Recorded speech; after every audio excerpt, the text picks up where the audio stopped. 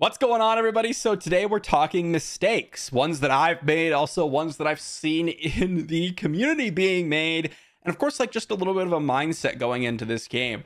You're gonna make mistakes. I've made a lot of mistakes. It's just part of like playing the game, unless you're going into it and I don't know, there is someone there that's got perfect information and they've they've researched everything that you possibly know inside the game and outside the game and you've watched every single video, they knew every piece of information months in advance. Like you're to make mistakes on this game. That's just how it works, right? These are like multi-month, multi-year long projects for a lot of these characters. So you're bound to like do something that ends up making it everything take a little bit longer than before.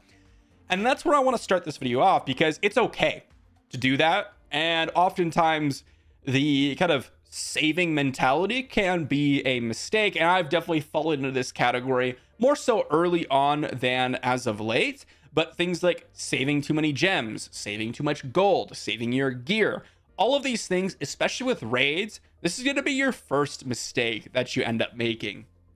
You obviously want to avoid trying to, you know, make as many mistakes as possible. You want to avoid those as much as possible. At the same time, if you're sitting there paralyzed by decisions, you're not going to do anything. And that's a huge downside in this game in particular because you have the four chapters of raids. Assuming you're in a guild that can, you know, participate in each chapter, which isn't super difficult as of late. Every single team that you progress can be used in all four chapters of the raids. And it's not like other games like Star Wars Galaxy of Heroes, for example, where, yeah, your guild can kind of carry you through a lot of stuff. There is a personal reward track. And because of that, any team that you add can oftentimes earn you an initial 100K, maybe 50K character experience a week, 100K uh, gold a week, you know, maybe some um, extra coins, or maybe even Gandalf shards if you're on that breakpoint for your account. All of that matters a great deal. So do not stall too long now, there is a balance, right? You don't want to go, I'm going to invest in every single thing in the game, and you also don't want to sit there paralyzed. Right now, in terms of where we're at in the game, we have glyphs coming. So now is a good time to maybe save, accumulate a little bit of gold, but still continue to progress your main team that you're looking for for progressing arena. And that's going to help you out in raids. For most people, that's the elves right now. That's a great solid team to continue kind of investing while still building a little bit of a stockpile of gold to prepare for raids and then as or glyphs. And then as soon as glyphs go boom you have all that gold and you should be spending that pretty much immediately to get those massive bonuses in the raids. There's no point in saving resources if you never spend. I definitely fall into this category a lot in a lot of gacha games and hero collectors where i'm like saving. It's like oh well now glyphs are in the game. Well i'm going to save longer because they might add something later. No get your stuff done now, especially when there's big upgrades like glyphs to come, because you'll make up that gold. Let's say you spend 750k gold on raids. Well, by the time the next big update comes, all those kind of gold sinks gave you the gold back in terms of what progression you got on the raids, and now you have glyphs. So keep that in mind. The second big mistake that I ended up making, and this is especially true um, for me now because of how much I'm starved for ability materials, is ability materials and kind of not necessarily focusing on the specific characters that truly, truly need them. Take, for example, although I am using him now, Elric here, whom is at level 5 for some of his abilities, level 4. You have characters like, for example, Strider over here for me, that has um, some level 5 abilities like Heroic Charge here. Take another character like Ugluk here. He's got level 4 abilities across the board. And you look at some of these and it's like, yeah, like I could get 30% extra damage, sure, but that doesn't really help a whole lot. Especially like, for example, Ugluk. He's a perfect example because if I look at, okay, what am I going to be doing with this 30% extra damage? Well, they're good in in in chapter one of the raids. They're pretty good in chapter two, but they're not amazing in chapter three or chapter four. So is this 30% extra damage on basic and onslaught, which he's not even necessarily a damage dealer, gonna help me push a ton of my score? No, not really. Um, there are some ability breakpoints that are really, really important. Like if I went to this basic and, and got um, the provoke stack, right? That's amazing. But for like onslaught here, the extra 20% damage or extra 30% damage, do not go for these because they're not really going to progress your overall account. So make sure you're focusing on the right abilities, and it even starts at level 4. The level 4 upgrades are what you don't want to necessarily walk into. And I've done some cases where I don't upgrade, right? Like Elo, uh, Eowyn here is a perfect example. I don't have the damage on her basic. I also don't have the damage on her level, uh, third ability. And I've kept it at level 3. So I have done good in some situations and poor in others. But you want to make sure you're doing this very consistently because you'll note as you get deeper and as you start to progress your like main teams and you try to bring some characters up to like level 6 or level 5 on some of their abilities, like Elrond here who has that extra stamina on the level 6 upgrade. This one took me a little while to get because I had almost no extra resources. And for the elves in particular, well, I want all of their abilities at level 4 because they're in my arena squad. So I really would like them to have the ability to really push arena for me with targeting specific levels up to 6 unless some of them have a really good upgrade at five, but most of them do not. It's either like six or keep at four. And you want to make sure you're balancing this correctly. Every team is different, and of course, every account is different, but just keep in mind that level four abilities are a huge cost, as well as level five and six.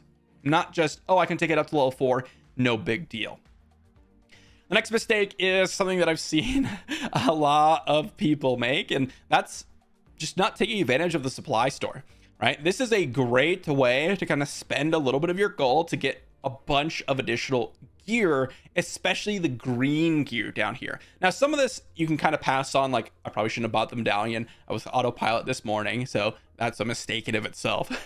uh, so you want to make sure you're doing the supply store correctly, but picking up like a lot of the essences, these are basically always going to be used. The crystals are almost always going to be used as long as you're targeting them, and the green pieces are also very cheap and almost always going to be used. So making sure you're taking advantage of this very early on in the game is extremely important. If nothing else, if you want to skip this blue gear, that's fine. Do not skip the green gear though. You will need this every single time, and well, unless you want to go back and farm green gear, which feels pretty bad, the amount of gold value you get from picking up the green gear in specific is really, really good. And you definitely want to pick that up.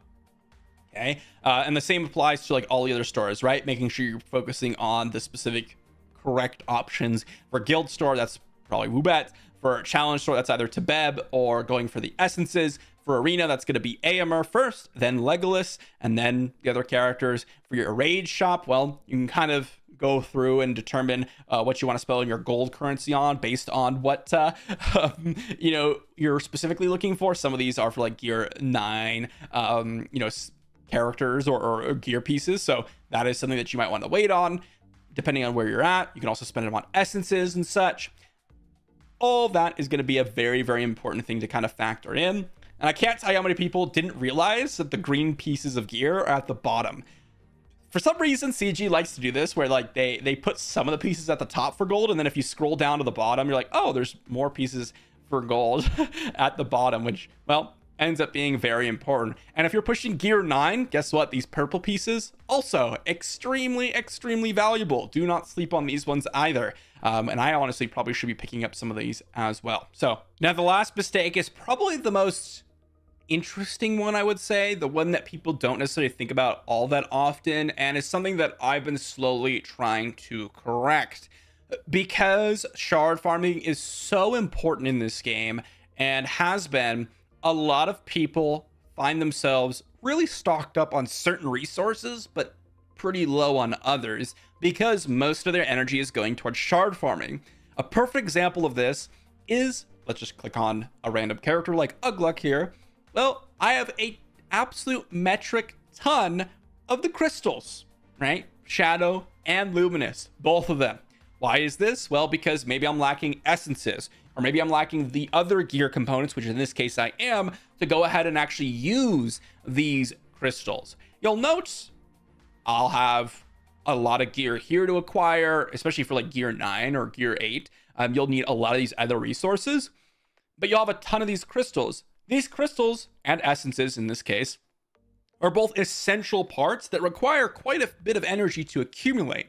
And so if you're just letting them sit there like I am, and you have a ton of them, this is essentially wasted value over time because you could have been using this to convert into more gear pieces and also more raid scores. So when you're going through your, your roster, make sure you have a priority list of certain characters to farm. So like if that's your elves and you're like, okay, but I do want my elves to be strong. So I want to make sure I'm farming, you know, Elladan and Arwen. Guarantee those are like number one and number two priorities for me, right? Elladan and Arwen, first and foremost, every single day, I must farm those.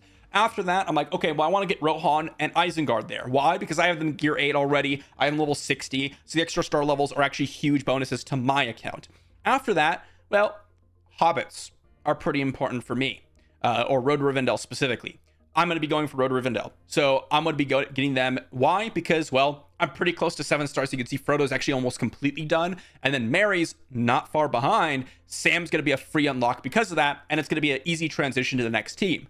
But for example, one team that's really far away, Haradrim, right? And you can see I actually have farmed a little bit of them, uh, and I have been farming them recently. Bekaloo is a guild campaign, so that's an exception. Wubet's a guild uh, shop, so that's an exception. But like Roble, Yeftu, these two, well, they are campaign nodes, and I have been farming them a little, or I was like periodically farming them before, and I've, I've farmed it a little bit lately but just drop these farms. There's no reason to be farming these characters because they're so far down the line for me that instead I could be using that energy for more gear, which allows me to use the other resources I've already accumulated on my characters to help me progress my raid scores. So make sure you're balancing the gear farming with the shard farming. If you're all out of crystals and you're all out of luminous crystals, you're all out of essences, you don't have any currency to spend on essences, then you can go back to shard farming more. So that's when you go back and like, okay, I'll farm up Yeftu or Roble because I have some extra energy. It's kind of how you can look at it. Because you shouldn't be farming crystals actually. Since the beginning of the game, um, you may have wanted to farm crystals back then, but not anymore with how many shards that we actually need to accumulate in the game now. So this is where you want to balance those two. And especially if you've accumulated a lot of extra gear components like I have, now is a great time to start going in, dropping some of the shard farms a little bit, prioritize the ones you really need, and then go back in for some more gear because you've already basically gotten half of your gear done on a lot of your characters. You just need to farm the other half. So it allows you to make your energy a little bit more valuable, especially on characters that you're already using, right? For me, elves, right? So this is a big thing that I've done recently because I do want to continue to improve my elves, and you can't do that if you're just spending all of your energy on shard farming. If, again, you have no crystals, then keep shard farming. You'll get them eventually. so that's going to be kind of some of the mistakes that I've made, some of the things I've seen, and some things that I've been trying to correct slowly. It's at the end of the day not a huge deal if you do make these mistakes over the long term.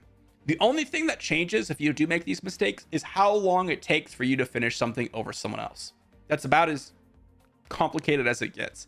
If I decide, hey, I want to go ahead and max out one goblin out of the five and then use him in my shadow team. Well, maybe you don't get as many points scored in the raids, or maybe you don't progress as far as the shadow campaign, and maybe you lost like a month of time because you decided to fully invest into a goblin. Oh well, you'll correct it. It's nothing that a little money can't fix and a little or a little time can't fix. That's how these games work. So mistakes equal time, and so does money. So just, just, you know drop a little money although i wouldn't recommend that i don't think this game has a good value for that so uh, that's gonna be it guys hopefully you enjoyed and if you've made any of these or perhaps you think of any else of the any other mistakes any else any other let me know in the comment section down below and i'll see you all for the next one